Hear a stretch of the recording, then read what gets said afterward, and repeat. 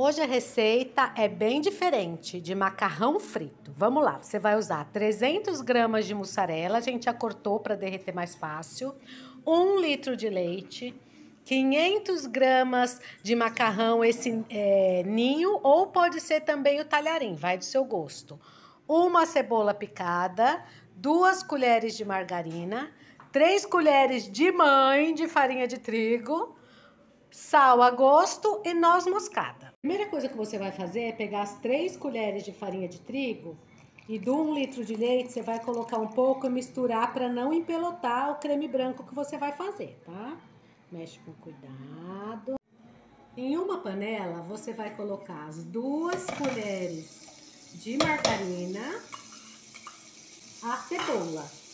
Uma cebola, essa daqui a gente já deixa picadinha, raladinha, tá? Se você não gostar muito de cebola, você pode até colocar menos. E aí você vai deixar fritar.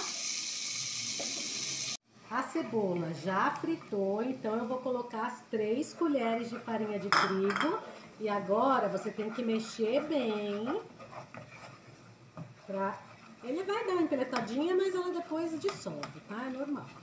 Você tem que mexer bastante. Isso você tem que deixar essa farinha de trigo cozinhar um pouco. Em outra panela, você vai colocar a quantidade de água que for necessária e o macarrão para cozinhar. Tem que ficar num ponto al dente, não pode ficar molenga demais, tá? Pronto, já cozinhou bem, agora você vai colocar o leite. Ó, já começou a engrossar.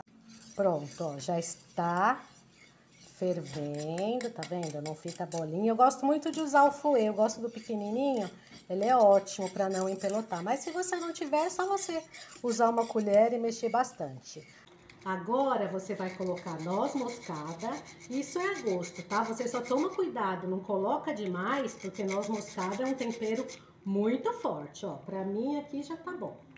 E aí agora você vai colocar a mussarela, que já tá cortada picadinha para ficar mais fácil de desmanchar nesse creme branco. E você coloca. Agora mexe para o queijo derreter e a noz moscada incorporar no creme. Pronto, a mussarela já derreteu, olha que beleza. E aí agora a gente vai colocar o macarrão que já cozinhou e escorreu, tá? Aqui, ó. Vai colocando. Vai colocando e tem que fazer os dois ficarem bem incorporados. Pode desligar, mas agora tem que tirar esse macarrão. Ó, na hora que você coloca, parece que vai empelotar, mas é só ir mexendo delicadamente que o macarrão e o molho vão se incorporando, tá? Ó, tá melhor. Agora você vai mexer bem, quando tiver bem misturado, você vai colocar em uma forma. Então, bem importante, quando você colocar o macarrão para cozinhar, você não pode colocar óleo na água, tá? Porque senão depois o macarrão e o molho não, não se incorporam, tá bom? Agora você vai colocar numa forma. Separar bem, tá? Aí você vai colocar por toda a forma, deixar bem regular, para depois você poder fritar.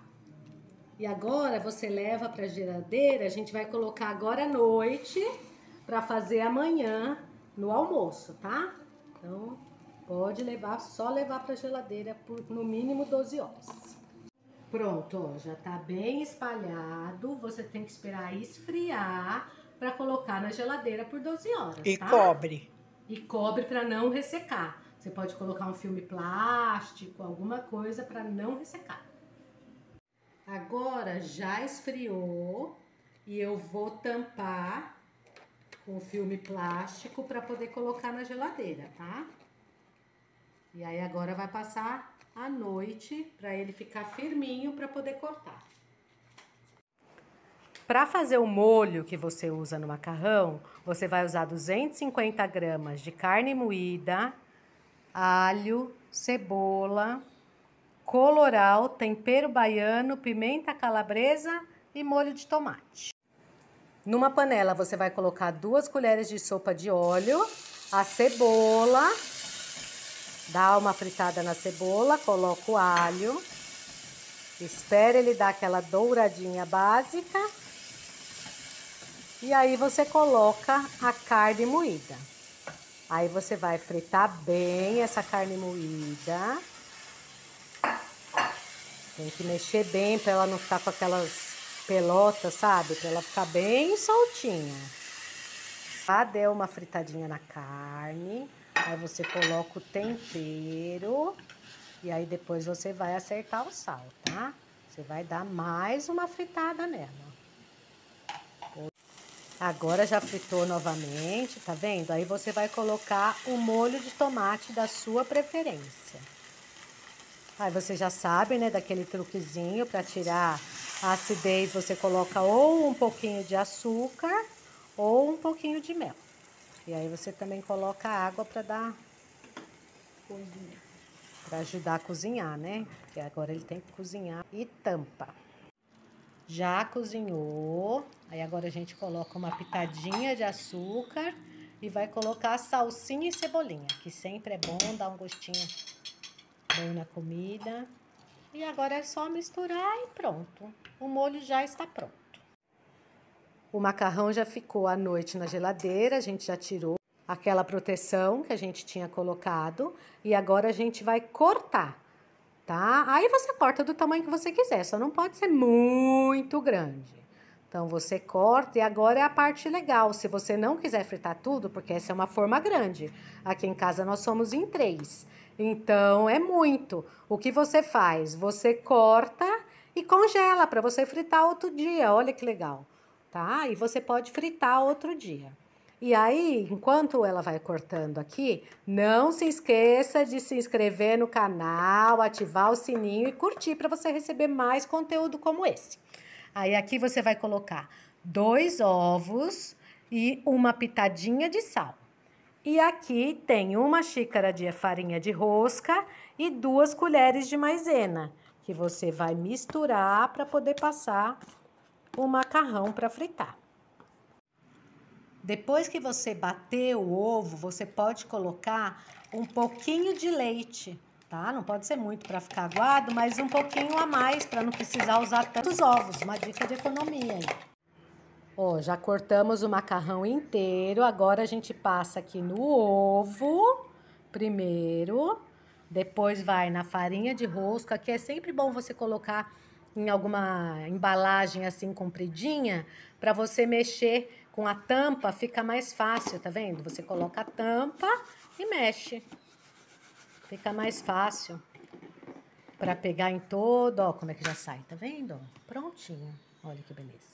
Aí você vai colocando num pratinho tudo que você passou.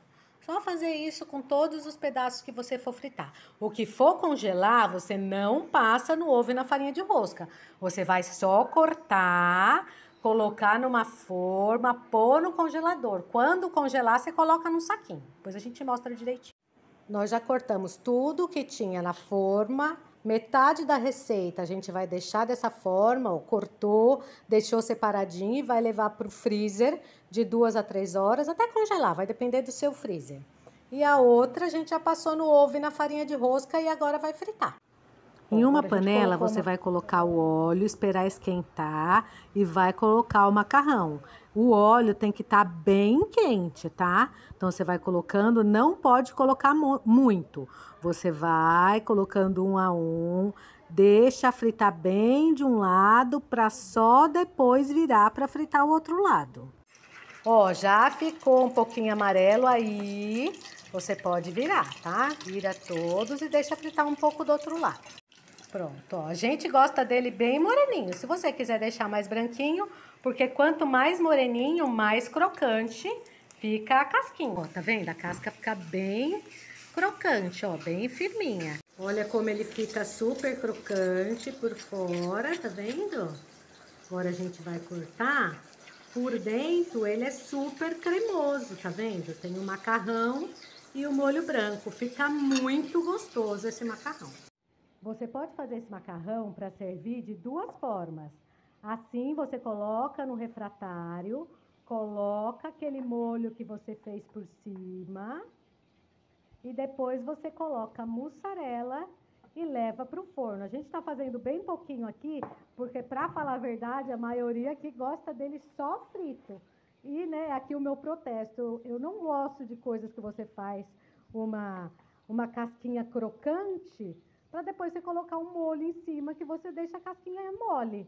Então, mas tem gente que gosta assim, então pode fazer dessa forma. Ou se não, comer só ele frito, também para mim eu acho muito mais gostoso. Vai do seu gosto.